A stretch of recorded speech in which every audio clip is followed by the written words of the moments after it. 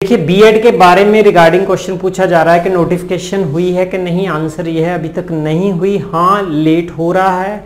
University की planning बहुत अच्छी, बहुत तेज़ थी, लेकिन गवर्नमेंट की तरफ़ से कोई नोटिफिकेशन ना होने की वजह से ये सब कुछ लेट हो रहा है।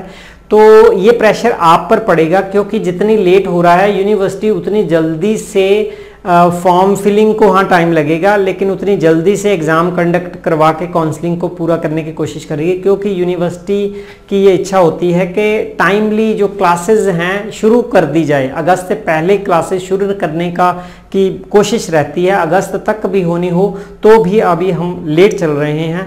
आ, मेरे पास इतनी ही जानकारी है। हाँ हाँ यूनिवर्सिटीज़ की अथॉरिटी से जब भी बात कर रहे हैं कि प्रोसीजर कब शुरू होगा तो वो एक ही जवाब देते हैं कि नोटिफिकेशन गवर्नमेंट पंजाब गवर्नमेंट की तरफ़ से अभी यूनिवर्सिटी को कोई नहीं मिला। Thank you doctor Tirath Singh learn to actualise